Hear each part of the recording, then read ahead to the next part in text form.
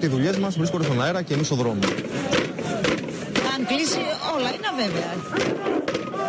Πώς θα ταΐσουν τις οικογένειές τους; 1.600 μεταλλορύχοι μαζί με τις οικογένειές τους έδωσαν δυναμικό παρόν στην Αθήνα. Πρώτος τους σταθμός, το Υπουργείο Περιβάλλοντος. Οι εργαζόμενοι στα μεταλλεία Χρυσού θέλησαν να στείλουν το μήνυμα ότι διεκδικούν το δικαίωμα στην εργασία.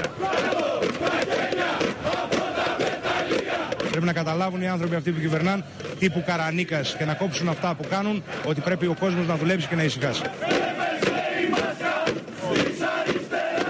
Ήρθαμε και τα γυναικόπαιδα, ήρθαμε όλοι να παλέψουμε για τα θέλω μας. Η αδειοδότηση της εταιρείας, λένε οι εργαζόμενοι στα μεταλλεία Χρυσού της Καλκιδικής, διασφαλίζει το μέλλον τους ενώ δημιουργεί προοπτική για ακόμη χίλιες θέσεις εργασίας. Η διαιτησία δεν ε, έχει καμία σχέση με την αδειοδότηση αυτή που περιμένουμε. Δεν θα χαριστούμε σε κανέναν, ούτε και θα επιτρέψουμε κανείς να παίξει με το μέλλον μας. Με πορεία προς τα γραφεία της εταιρείας και στη συνέχεια στο Μαξίμου, αν και ο Πρωθυπουργός απουσίαζε, οι εργαζόμενοι θέλησαν συμβολικά να τονίσουν ότι κανείς δεν μπορεί να παίζει παιχνίδια σε βάρος των οικογενειών τους.